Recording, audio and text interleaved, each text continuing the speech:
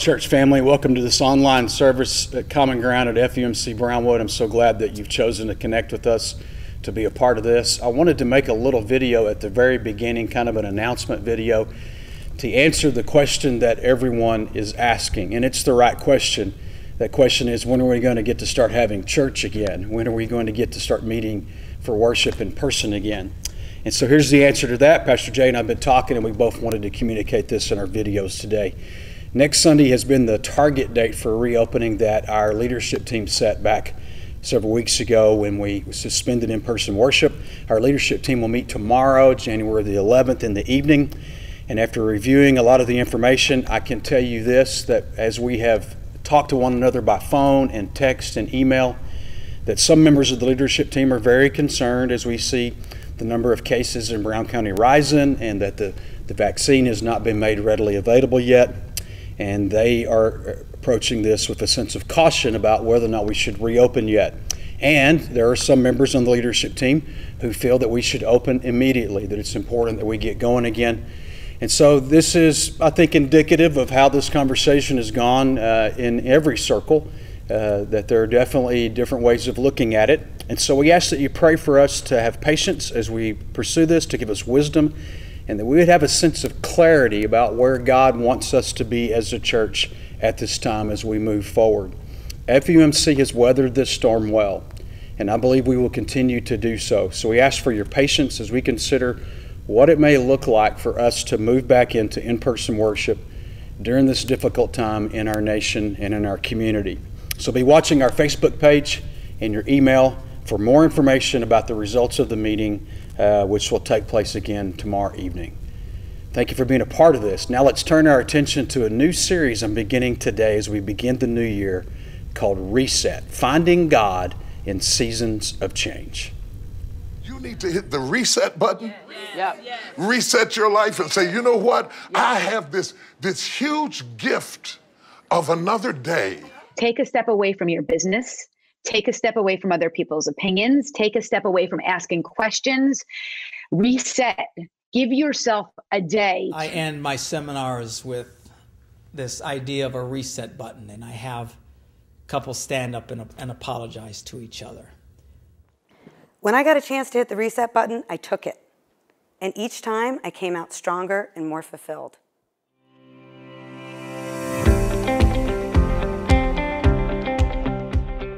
FUMC. I'm so glad to be coming to you today for this online service. And since I was off last Sunday, uh, this is my first official time to have a moment to say Happy New Year. So glad that you're being a part of this and using this to continue to connect with the ministry of our church. And we hope it'll be a positive and encouragement uh, time for you online.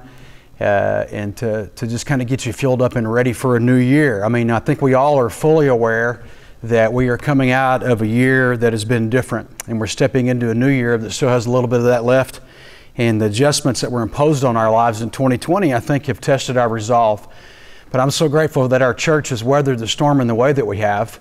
And, uh, and I'm just so grateful for the amount of people that have been encouraging and staying connected and faithful in their giving and all the things that have been done to support each other as we get through this season even in the midst of all of the interruptions that have kind of brought a little bit of weariness on us uh, and interruption to our routine. So, with all of that being said, I know that we are in so many ways needing to hit the reset button.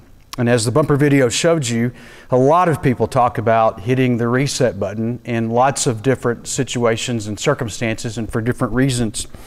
I think learning to hit the reset button is healthy, and I think it's a necessary skill to keep us sharp. It is something that we need to have ingrained in the rhythms of our lives. Finding God in seasons of change. See, not only do I think that, that we need to believe that as we hit the reset button that God will help us with that, I think we need to know that He is active always in making Himself more accessible in seasons when we're being challenged in specific ways than He is even in kind of our normal routines. So, this is a changing season, and I think we need to be expecting God to reveal Himself to us in new ways. It is the ability to reset that keeps us from getting burned out, keeps us from getting stuck in our thinking, keeps us from getting stagnant in our relationships. So, how do we reset? Lots of ways people reset, right? Taking some time off resets us, going for a run or making a trip to the gym for some exercise, going out of town. It seems like a Brownwood mantra that every once in a while we got to, you know, see the city limits of Brownwood in our rearview mirror, go somewhere else and just kind of get out of town. And that's important. A boss telling you to take a few days off, a school teacher taking a mental health day. Vacations are themselves a form of reset. So, time out in nature is a good way to reset. I'm told that yoga helps you to meditate on one thing and encourages you to be fully present. And by that, you can reset your mind and your thinking. And so, lots of ways that we can do that. Yoga uh, and other things can help us do that. But resetting, I think, is also an important part of our spiritual rhythms. Think about it. God said that we should rest one day a week. The Sabbath is itself a weekly reset. Prayer resets our focus. Fasting resets us in so many ways. And time in community with the people of God is something that helps us to reset. We all need these particular times. So, where does that leave us today? Where does that leave us today? What are we in need of as we step into a new year and perhaps at some level, level need to hit the reset button in ways that we've never had to do before? I hope today to help you kind of connect the dots and as we get together, hopefully in the future, that we might repeat some of these things when we're together live and in person. So, how are we going to do that? I think the Bible says a lot about reset in different ways and different stories throughout the, the biblical narrative. The story Esther is one that we will look at. Esther had to reset her life in order to fulfill her mission and do what God was calling her to do. With the help of Mordecai and others, she was able to do that. In Acts chapter 10, the Apostle Peter has to hit a major reset button. God comes to him and speaks to him in a vision and through uh, the lives of other people around him and Cornelius, and he hits the reset button. So I want us over the next few weeks to, to do what we can to help you find the reset button and to gaze into scriptures and looks at, look at the principles and the examples of how God's people at different times were able to reset in order to chart a new course and accomplish their mission because we're in the same boat. These stories, I think, have treasures that can help us. And so we're going to come to them to kind of excavate the treasures and find that to be something pertinent to our lives today. Years ago, I went to Mexico City, and outside of Mexico City are the pyramids of Tenochtitlan. And you go there, and they even allow you to climb on the pyramids. I stood on the Pyramid of the Sun and the Pyramid of the Moon, and you go way up on top of these. But around there, they're still excavating. After hundreds of years, they're still finding treasures. The scripture is no different than that uh, that after all these years that it's been written, if we go to it with our heart in our tent, we can, can, can mine out of that treasures that will help us in our lives. I want to say that I think 2021 holds promise and relief and hope. And I think we can capitalize on that if we can find the reset button and make some adjustments so that we're fully prepared for what He has for us to do in this new year. So, our scripture today is where I like to be on every New Year's. This scripture is saturated with the intent of the prophet to speak the word of God to help God's people reset, to adjust their thinking in order that they can fully embrace the new thing that God is doing. So I'm in Isaiah chapter 43, verses 18 and 19, and it says this Do not remember the former things, neither consider the things of old. Behold, I will do a new thing. Now it shall spring forth. Shall you not know it? For I will even make a road in the wilderness and rivers in the desert. Do not remember the, fo- the former things, neither consider the things of old. Behold, I will do a new thing. This is in itself a reset that God was given to his people. Now he begin, begins by saying, I just want to mention this, this is not the main point, but, but he mentions this word behold. I say this every once in a while. Behold is not a word that we use in our culture and in our vocabulary. But to behold something is to observe something with care, to be very intentional about how you look at it. It means to fix your mind on something. And so I want to ask you this question as we go into 2021, what are you fixing your mind on? What are you really observing with care and focusing on and thinking about? Because the first point is this that hitting the reset button begins in your mind. Hitting the reset begins with how you think in your mind. When you think about the possibilities of the future in this new year coming in, what is it that's going through your mind? Not what would you want your church friends to think that you're thinking, but what are you really thinking when you think about that? What are the thoughts that are repeating in your head day after day? Are they productive or destructive? And what are thoughts that are that are helping you to be open to change? And are there are there some ongoing frustrations about the changes going on around you? I mean, just what's going on in your mind? Because if you're going to hit the reset button, the first thing you got to do is address with what you're thinking. You got to address your mind. So just know that a reset begins in your mind. Secondly, I would say this I think the apostle, I think not the apostle, but the prophet, I think the prophet here makes it clear that he wants us to do this that the past needs to be exactly that the past. It needs to be behind us. Let's look at different translations, okay? Good News Translation translates that verse Do not cling to the events of the past or dwell on what happened long ago. Amplified says, Do not ponder on the things of the past. You got to put King Jimmy in here. Remember ye not the former things, neither consider the things of old.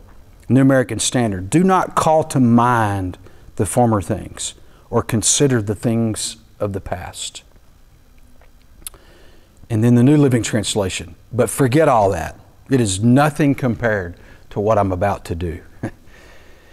See, it's like a kaleidoscope. You're looking at the same thing, but every time you turn it a little bit, you see a different angle. And I think different translations do that. Listen, the past needs to be the past. We don't need to think about the former things. We don't need to ponder on the things that are in the past. We don't need to cling to the things of the past. We don't need to dwell on what's in the past. We need to let the past be the past. We need to be like Mac Davis. I thought happiness was Lubbock, Texas in my rearview mirror. And what we ought to say right now, in a lot of ways, maybe we're already saying it, I thought some of these things I experienced in 2020 are a lot better in my rearview mirror. Let the past be the past.